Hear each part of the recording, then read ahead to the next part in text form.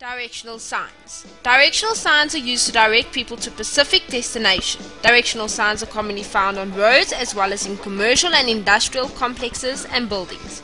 Directional signs inform, give instructions, and tell you what to expect. They keep unauthorized people out and assist providing emergency instructions. Contact the team at Signforce now so we can assist you with all your directional signs and other signage requirements.